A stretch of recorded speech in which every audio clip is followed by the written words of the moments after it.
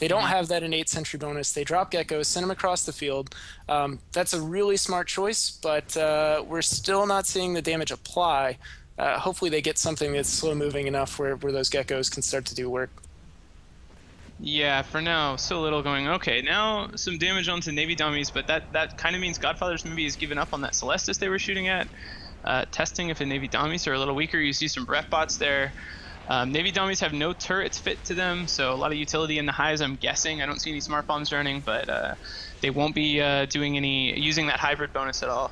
Uh, some damage starting to get sustained by the Godfather's Ishtar. Um, they're of course using those frigate logistics uh, which for now is working out just fine. The damps, of course, pretty bad news for them because their lock range is already pretty low, but they're able to stay in tight. There's no afterlife ships anywhere near the Godfather's team to uh, try and put pressure on those bursts for now. So everybody holding strong.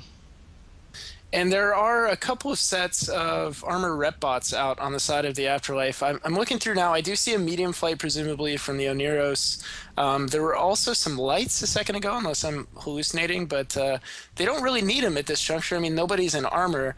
Uh, I would hope that there's some DPS flights they can pull out of, of maybe those Moluses to send over to maybe do some shield damage to the Godfathers, because right now it's just a good old Mexican standoff. There is uh, some lights in the air. I see them circling around the uh, one of the bursts, trying to put some damage on him. It also looked to me like, for a bit at least, there was uh, an attempt to kill some of the Godfather's drones that have gotten near the Afterlife team. Uh, a whole big fleet of geckos now heading back across towards the Godfather's team from the Afterlife side. Uh, see what target they choose and see if it does anything. Still, no damage really being sustained. And there you see a big chunk of damage going on to that burst. Also, ECM applied. No reps coming into that burst. He could be in real trouble. Ooh, ECM uh, drops for a second and reps come through. But uh, that's a big deal if they're able to get that burst down. Looks like they're going to be able to, and he does drop. And uh, meanwhile, the Celestis of uh, Vol- Voldemar, something along those lines, uh, he did take a little bit of damage. It instantly got repped up. This Oneiros pilot, pilot is on it. Um, and this E-War is absolutely wreaking havoc on the Godfather side. So I kind of wonder about the Blackbird. He doesn't seem like he's been terribly effective thus far.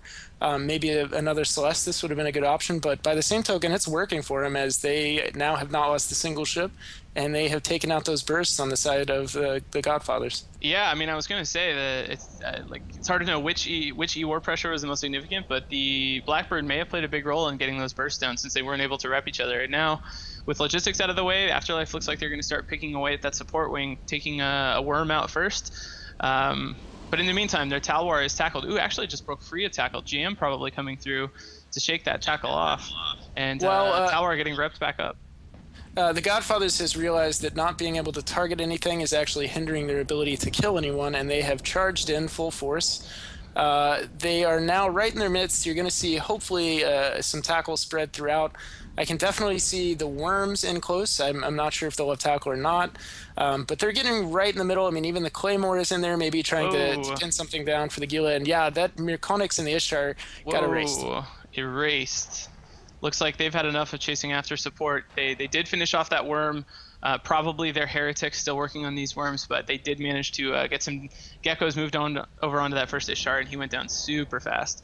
Um, damage being spread around the afterlife team got, like you said, that you were doing a lot of work, I'm sure, and Gila's probably uh, moving damage to whatever they're able to lock. Another worm down for Godfather. So far, looking really good for Afterlife and their Navy dummies. And as much as I hate to say it, yeah, they they have locked this down pretty well. I mean, a really comfortable run from them. I mean, their tanks have not been threatened. Their E-War pilots are doing a fantastic job, either cycling damps or, or just being cognizant of range and making sure damps are on targets that they will um, affect. And this this other Ishtar is going down, and in my mind, that's that's pretty much it.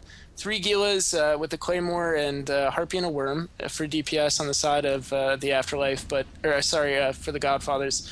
They can kill this Oneiros, but they can't kill this Oneiros and kill the Navy Dominixes unless they, they really pull out a miracle. So I think it's going to be a war of attrition at, at this point for uh, for the Godfathers. And this Gila of Vlada Silnai is taking damage, but also this Celestis, and now a worm on the Afterlife side. The worm just gone. yeah, one thing that's that's definitely happening